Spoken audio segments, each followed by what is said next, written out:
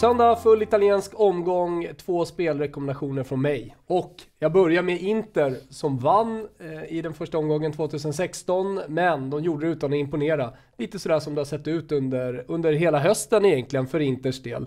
Eh, de är tunga, de har ett bra försvar och eh, de har framförallt en målvakt som eh, heter Handanovic som är i form. Han har ju haft väldigt bra säsonger och sen så har han haft några downperioder sådär men, men i år så är han återigen liksom där uppe mm. och eh, räddar inte när det behövs. Såg att han skrev nytt kontrakt med Inter här också i veckan och var ju fenomenal då i matchen mot eh, Empoli ja. senast för det var en match där Empoli faktiskt skapade en hel del men mm. eh, som du ser Handanovic räddade, räddade dem i många situationer. Mm. Och så möter de ett Sassuolo som eh, bara fick kryss i veckan.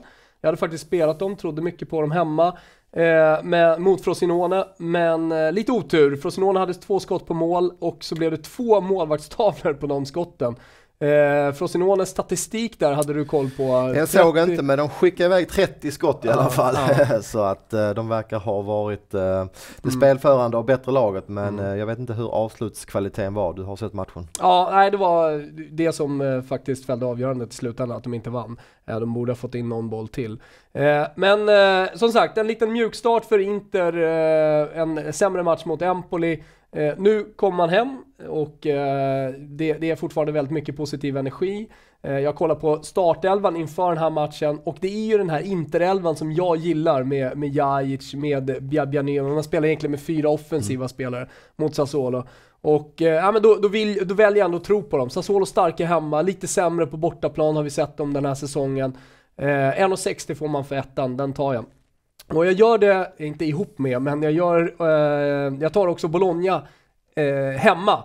De vann ju eh, mot Milan, eh, utan att jätteimponera ska jag väl säga att Milan borde ha fått in eh, några bollar. Eh, men återigen, även här med Bologna, mycket starkare på hemmaplan. Eh, möter ett Kiev som jag tycker ändå har blivit lite sämre med, med tiden den här säsongen. Jag tror att de kommer hålla till i botten vad det lider här också.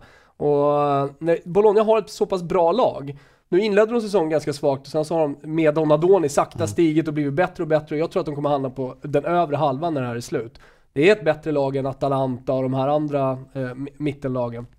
Eh, så jag tror att de vinner här hemma, jag tycker att det är bra odds här till 2,45. Eh, det var också allt eh, för söndagen, för du hade inget eh, att tillägga? Va? Nej, jag hade inte hittat någonting som jag ville förmedla på Nej. söndagen utan eh, jag har kikat på mittveckan som kommer där vi tittar på Premier League.